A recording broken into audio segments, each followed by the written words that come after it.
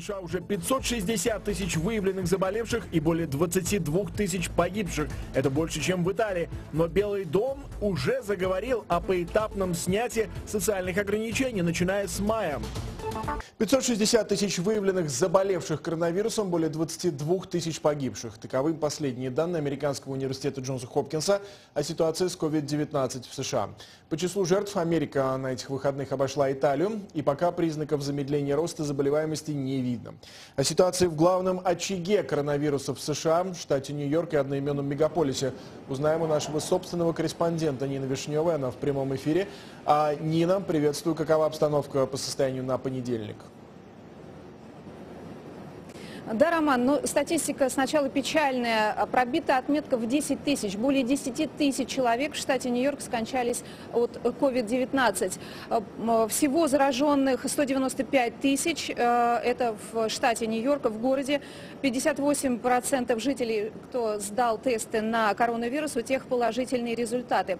Но есть положительная динамика. Положительная динамика, то есть количество смертей э, в течение суток регистрируемых наконец-то пошло на убыль. Всю прошлую неделю цифры держались на уровне э, почти 800, 800 человек, э, умиравших в течение суток. Сейчас эта цифра меньше 700, что тоже очень большая, конечно, цифра, но наметилась динамика к снижению, так же, как продолжается динамика к снижению в количестве госпитализаций. В течение суток сейчас менее 2000 человек в штате Нью-Йорк госпитализированных. Также количество интубаций, то есть людей, которых подключают к аппаратам искусственной вентиляции легких, становится меньше и больше выздоравливающих. Это положительная динамика. Но власти советуют э, продолжать соблюдать режим социального дистанцирования. Собственно, вот это все и есть результат соблюдения режима социального дистанцирования и предупреждает, что возможно вторая волна заражения. На минувшем, э, минувших выходных э, губернатор штата Нью-Йорк Эндрю Кума подписал два исполнительных указа. Один касается обязательного обеспечения сотрудников, которые заняты в жизненно важных сферах средствами индивидуальной защиты. И второй касается расширения тестирования на антитела. То есть есть два вида тестов. Один э, на коронавирус и второй на антитела. И вот это вот второе направление, это уже такое заглядывание в будущее, шаг вперед. То есть чем больше людей, у кого иммунитет, у кого антитела, тем больше народу может приступить к работе, соответственно, заниматься э, решением вопросов кризиса, в котором штат Нью-Йорк и город Нью-Йорк оказались в результате э, эпидемии коронавируса. И об этом все чаще говорят, вот об этом шаге вперед и на ежедневном брифинге мэра, и на ежедневном брифинге губернатора штата. И вот давайте послушаем, что Эндрю Куома как раз по этому поводу сказал на своем брифинге. Большой вопрос для всех, когда мы откроемся. Люди хотят жить дальше, люди хотят выбраться из дома устали от замкнутого пространства. Нам нужна работающая экономика, людям нужна зарплата. Жизнь должна функционировать. Мы хотим возобновить работу как можно скорее. Но нужен скоординированный и безопасный подход. Никто не хочет выбирать между стратегией, касающейся здравоохранения, и стратегией, касающейся экономики. Что касается э, антител, что касается разработок, этим в Нью-Йорке занимается несколько клиник, в частности, больница Маунт-Синай. В исследованиях принимает участие 35 человек. О выводах пока говорить рано, но вот эти исследования должны пролить свет и дать ответ э, на многие очень важные вопросы. Например, насколько продолжителен иммунитет, возможно ли повторное заражение, а тем более, что из Южной Кореи поступает сейчас информация, что идет вторая волна заражения. Вот насколько этот иммунитет устойчив устойчив. И прежде всего ученые говорят о том, что э, это не панацея, что необходимо исследование и еще в параллельных направлениях, то есть необходимо делать э, вакцину, необходимо э, изготовлять э, лекарства от коронавируса. Но э, хочу еще сказать, что вот, например, Федеральное агентство по контролю за распространением заболеваний, роман CDC, э, небезызвестный, оно ежедневно публикует рекомендации, как себя вести вот в этот период э, эпидемии. И я прочитала там такой интересная э, рекомендация о том, что необходимо отвлекаться от новостей, поскольку большое количество новостей о пандемии, о коронавирусе могут расстраивать, Роман. Ну, не могу с этим не согласиться, хотя это, конечно, против, наверное, наших собственных интересов, учитывая, что все-таки мы рассказываем аудитории новости.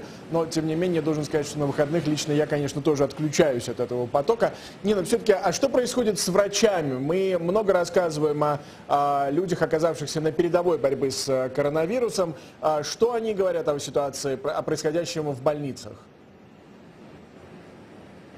Совершенно верно, Роман. Вот наше Нью-Йоркское бюро «Голоса Америки» постоянно делает репортажи и интервью с врачами, которые на переднем фронте, на вот этом вот э, фронте борьбы с коронавирусом. Э, конечно, это люди, которых сейчас принято называть героями. Себя они так не называют, но они себя просто э, отдают э, до конца вот этой работе. Но очень многие сейчас говорят, что в их жизни больше ничего не осталось. То есть вот во все сферы их жизни проник, фигурально выражаясь, COVID-19. И многие сейчас говорят еще и о том, и психологи это замечают, о том, что вот синдром эмоционального выгорания, так называемый, присутствует у нью-йоркских врачей. И это очень опасная тенденция больницы. И вот один из материалов я хочу предложить посмотреть как раз на эту тему. Мы делали интервью с врачом больницы Брукдейл. Это район в Бруклине, э, один из самых пострадавших от коронавируса. Там одно из наибольших вообще число заражений коронавирусом. Э, давайте посмотрим этот материал. В этом районе Нью-Йорка сирены скорых почти не умолкают. Больница Брукдейл – одна из тех, что брошены на борьбу с эпидемией. Мы переполнены пациентами с COVID-19. Почти все, кого к нам привозят, либо с положительными результатами тестов, либо с подозрением на COVID. Я не знаю точной цифры, но это сотни и сотни. Эмми – врач отделения неотложной помощи. У нее ночные смены по 12 часов 6 дней в неделю. Когда приходится оставаться в больнице дольше, после бесконечных суток лицо от въевшихся в кожу масок выглядит вот так.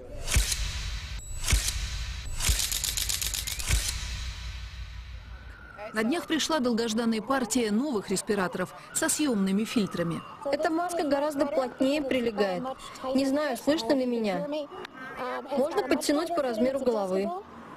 В Нью-Йорке по-прежнему острая нехватка средств индивидуальной защиты для медперсонала. Местные предприятия перестраивают свои производства на выпуск необходимых масок и халатов, но эпидемия наступает быстрее. На фоне этого все острее проявляется и другая проблема – участившиеся нервные срывы среди тех, кто на переднем крае борьбы с болезнью. Я захожу в палату. Там пациенты мертвые, мертвые тела. Я плакала всю дорогу, пока ехала домой. Водитель спрашивает, мэм, с вами все в порядке? Мне кажется, люди не понимают, насколько это тяжело сейчас. Я была готова ко всему на свете, но такое очень тяжело. Это видео после очередной бесконечной смены записала одна из нью-йоркских медсестер. Соцсети полны подобных признаний. Синдром эмоционального выгорания называют психологи. Столь же беспощадный враг, что и вирус. Медработники не могут не реагировать на эту ситуацию. Одна врач, которую я консультирую, у нее маленький ребенок, она вынуждена себя изолировать, поскольку работает с пациентами, у которых ковид. Еще до эпидемии среди врачей была высокая степень суицидов из-за выгорания. Последствия этой войны могут быть катастрофическими. В больницах открывают горячие линии для персонала, но из-за потока пациентов нет возможности даже позвонить. Я не думаю, что после этого кто-то из нас останется прежним. С этим как-то придется жить.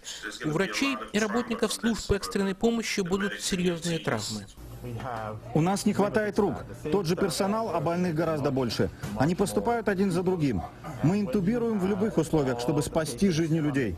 Впервые с начала эпидемии в Нью-Йорке количество пациентов в отделениях интенсивной терапии слегка сократилось, а общее число госпитализированных ниже мрачных прогнозов. Однако морги переполнены. Статистика ежедневных смертей по Нью-Йорку уже неделю держится около цифры 800. Местный морг в Брукдейл рассчитан на 20 тел. Теперь столько же умирают только за сутки. Самое страшное, говорят врачи, звонить родственникам и сообщать о смерти близких. Из-за опасений распространения эпидемии в больницы никого не пускают. В последние минуты рядом с умирающими только врачи и медсестры. Они супергерои, делают фантастическую работу. Мы ими гордимся. Наша больница делает все возможное. Мы справимся? С Божьей помощью. Когда? Зависит, как будет протекать самоизоляция и еще от многих вещей. Должен идти. В их расписании не осталось ничего, куда не проник бы COVID-19. Беспрерывные сигналы пейджеров, круглосуточные звонки телефонов, эпидемия заслонила собой все. Мирная жизнь урывками. Эмми скоро заступать на смену. Первый раз за все время она на улице, когда сирены тонут под другими звуками, тоже ставшими частью нью-йоркских будней. Нина Вишнева, Александр Барыш, Владимир Бадиков, Наталья Латухина. Настоящее время Америка. Нью-Йорк.